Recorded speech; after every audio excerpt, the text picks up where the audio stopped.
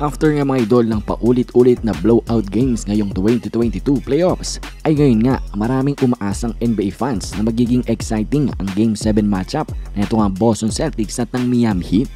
Matapos nga ng 6 games mga idol kung saan minsan ay si Jason Tatum ang de-take over, minsan si Jalen Brown, minsan si Jimmy Butler, ay ngayon nga ay expected na ibibigay ng tatlong star na ito ang kanilang lahat ngayong Game 7 na mga idol, ngayong win or go home na sila.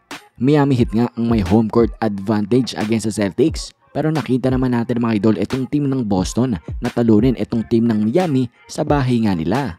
Kaya naman mahirap nga talagang ipredict kung sino ang mananalo sa dalawang team na ito. Evenly match kasi sila mga idol at nakita naman natin to all throughout their series. Talagang nagpapalitan nga lang ng panalo itong dalawang team na ito. Pero mga idol, kung kayo ang magpe-predict, kung kayo ang tatanungin, sino sa tingin nyo ang mananalo? Boston Celtics ba or team ng Miami Heat? Komento nyo lamang mga idol ang inyong mga opinion.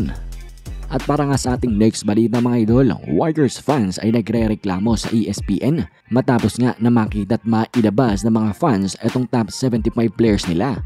Nailalam nyo ba itong si Stephen Curry mga idol ay pang number 16 sa kanilang all-time list? Kahit nga mga idol, marami na ring accolades itong si Stephen Curry. Marami na rin siyang nagawa at meron na rin siyang mga championship. Kaya naman ngayon ay nagpo-protesta ang maraming Warriors fans mga idol. Parang sinasadyang binabastos na nga lang daw or dinidisrespect itong si Stephen Curry sa paglalagay nga sa kanya sa top 16. Dapat nga raw at least pasok itong si Stephen Curry mga idol sa top 15. Preferably nga daw 12 or 13. Pero anyways mga idol, sa tingin nyo ba tamang nirereklamo ng maraming Warriors fans? Dapat bang itong si Stephen Curry ay pasok sa top 15 players of all time? Komento nyo lamang ang inyong mga opinion.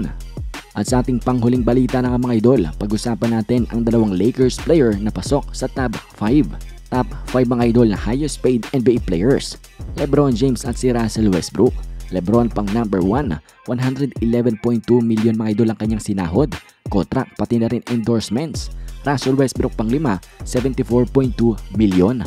Pumapangalawa naman sa listahan ito nga si Stephen Curry with 92.8 million Kevin Durant meron namang 87.9, Giannis Antetokounmpo meron namang 80.3. At yan ang lamang din mo ng mga idol para sa ating balitang NBA ngayon. Maraming ang salamat sa inyong panonood. Bye!